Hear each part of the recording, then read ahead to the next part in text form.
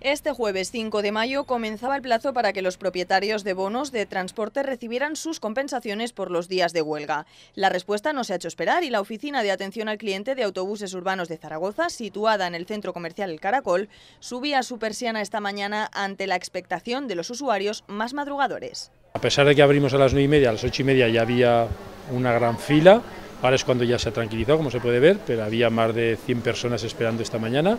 Ha habido momentos de hasta 150 personas esperando en la fila y a partir de las 11, 11 y pico de la mañana pues ya se tranquiliza un poco el, tema. Las previsiones del ayuntamiento cifran en más de 60.000 las personas a las que hay que compensar y tienen de plazo hasta final de año. Entre los usuarios, resignación y también satisfacción por poder aumentar la vigencia de sus abonos.